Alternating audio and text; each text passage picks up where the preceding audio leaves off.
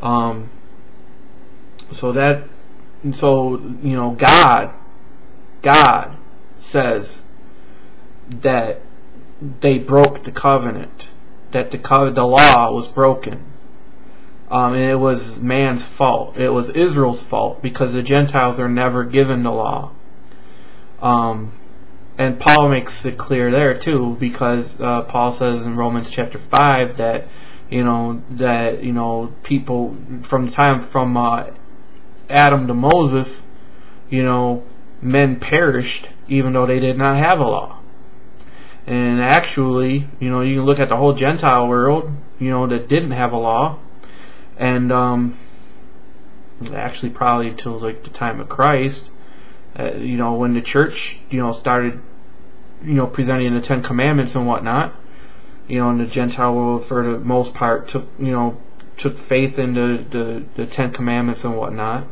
Um, which, wow, that's interesting because the Bible does say that the, that the Gentiles will put their hope in the Messiah. But anyhow, um, and that, you know, the Messiah would lead them to, to the true God. But, uh, you know, they all perished without the law as well. So that speaks strongly of the fallen nature of man. And so I would, I would like to know what you, what you have to say about that. Um, and I look forward to this having a dialogue with you because um, I would really like to um, share some things. I, I will say this in this video. I'll probably you know expound on it some more in later videos. Um, you said in an early video, you know, when you're talking about you know Jeff and the hypostatic union and all that. I'm not going to get into the hypostatic union right now, um, but uh, you know, I made the comment about why are you going to Jeff with that because Jeff is not a theologian. He's not even an apologist. Um, I really don't think that Jeff could uh, defend the gospel, you know, if he tried. Um, I'm not trying to knock Jeff. It's just like if you want theological answers, like I said, you know, you're better going to Pastor George or, or radical, you know, radical rabbi.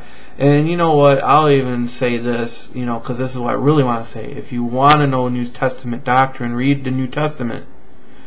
And in particular, you know, I'm sure it's not lost on you, though you might argue the point.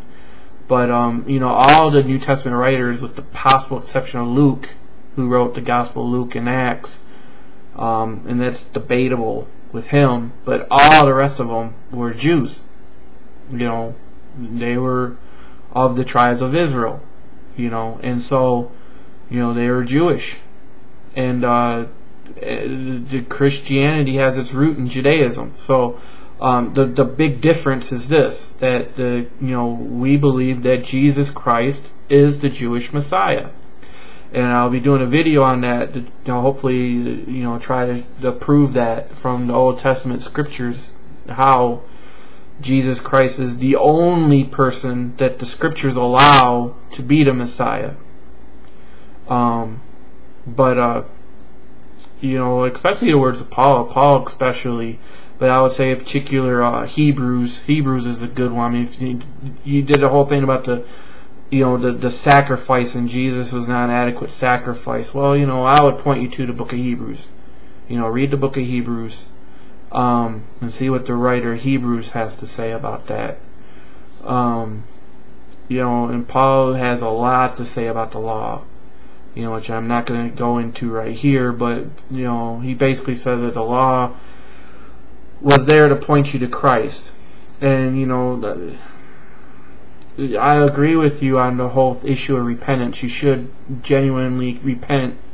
And, and you know, the, the, the gospel writers, you know, the, the Jesus and the apostles would agree with you too. It's just the thing about it is, you know, you have to believe you know, God. You know, Paul goes to great lengths to show us, you know, how Abraham was justified by faith. And he says, you know, Abraham believed God and it was credited unto him as righteousness. Um, now, the, the, the thing about it is this, okay? Um, Moses told Israel that, that God would raise up a prophet like unto him. And him ye shall hear. And he anyone who does not hear him, this prophet that was to come, will be cut off from among his people. Anyone. Anyone who does not hear this prophet.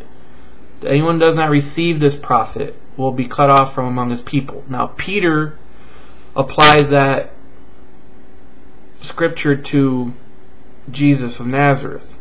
Okay? And this is important because I don't know what all you guys hold to, you know, what is messianic and what isn't messianic. What's a messianic prophecy? What isn't a messianic prophecy? Obviously, you can read in the in, in the gospel accounts. It's clear that the Jews in that day differentiated between the prophet, capital P, that Moses was talking about, and the Messiah. Uh, the New Testament writers make them one and the same person in, in Jesus Christ. Um, but it's very clear, though, that you know whoever does not believe in that prophet will be cut off from among his people. And if that's the Messiah, then um, and, and if that Messiah is Jesus of Nazareth, then um, uh, you got a problem there. You know, because uh, you know, basically, uh, you'll have rejected the Messiah. And um, you know, I know the Jewish expectation is with the temple, and they're so waiting upon a Messiah, and there's different people being thrown out as the Messiah. Um, you, you, had a, a, picture of a guy on your old website uh, account, you know, that, that I, I, know that people claim that he's the Messiah. Um, you know, so but you know it, it's a very important thing because uh, you know the, the, the Messiah is the one that's supposed to lead everybody into all truth, and uh, he's the only one that can adequately um, expound upon the Word of God. You know, and again, the Bible, you know, the New Testament says that Jesus is the living Word of God. That He is the He is the Word of God. You know, that He speaks the words of God you know, like he is the epitome of that, what the Old Testament prophets were. I also understand, you, maybe you can clarify this or not, but from my understanding in Jewish tradition that, you know, the, the rabbis, the, the, the um, Talmud was given um, priority over to the, the Old Testament, the Tanakh. Um, that the that the rabbinical teachings is actually seen as being more um, more uh, having more weight or whatever than um, the actual scriptures. So I, I would I would want to know what you you say about that because I would like to know whether that's true or not. Um, but anyhow, I'm, this is a uh, BudMan Christ. Um, and uh, just wishing you all God bless and um, I hope I hear a response from you soon.